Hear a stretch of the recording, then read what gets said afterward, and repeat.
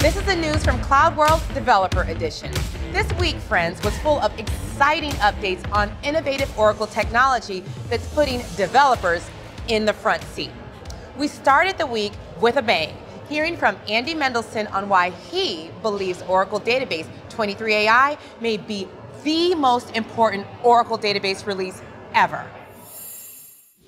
We are trying to move our, our focus in the database organization as we move to this new world of cloud, where Oracle's taking over the operations uh, of databases for you. Um, we're trying to make sure your developers, not just your operations people, but also your developers now have a really great experience uh, and are very productive working with the Oracle database. So we are solving some really fundamental issues that customers have had um, for years and years. We have this great technology called JSON relational duality, views that let you essentially build object relational mapping right in the database for those uh, your developers who want to see data as JSON documents. Um, we've got this, uh, of course, property graph right in the database, so your developers can again take standard relational schemas and put a graph view on it, a JSON view on it, and so we sort of unify all those worlds together. Andy's solution keynote paved the way to an exciting main stage keynote with Juan Loaiza. Juan walked us through the all new AI centric developer innovations in Oracle Database 23AI.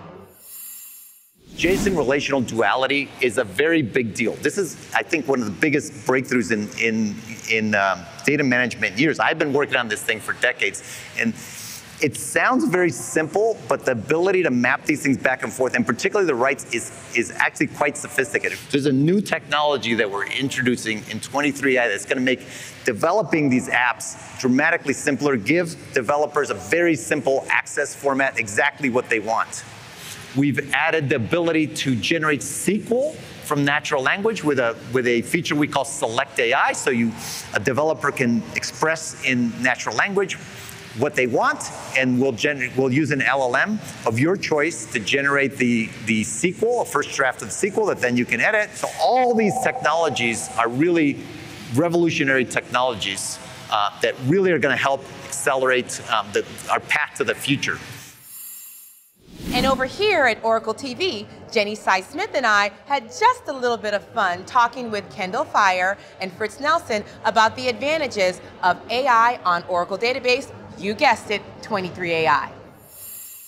So with AI, we want to bring AI to the data. Mm-hmm. So the whole idea is we need to help enterprises build AI apps on the Oracle database. And these applications are not just using AI. Uh, Jenny mentioned all of the innovations, the ability to do the queries with JSON or unstructured data, with graph data, find relations in the database. All of that is, is possible. I mean, it's a game changer. So Jenny, if we could pick three areas then to pay attention to when it comes to AI in this release, what would you suggest? All right, we'll start with something we call algorithmic AI, which okay. is basically machine learning. And we've had that in the database for 20 over, right? over yeah, maybe two decades. Yeah. And the idea is that if you're training your data models, why not bring the machine learning algorithms into the database where the data already resides, right? So that's one. Um, AI vector search, definitely, and Kay mentioned it, right? AI vector search is a way for us to basically allow customers to do similarity search to augment their generative AI so that produces more accurate information. And then the third piece is Select AI, which we introduced with Autonomous Database last year, and now we're going to make it available in Oracle Database 23 AI. And Select AI lets you talk to your database, so you don't have to write SQL code. So guys, it was a fun and busy week here in Las Vegas. Now, if you missed any of the action, tune in to Cloud World on Air to catch up. See you guys next year.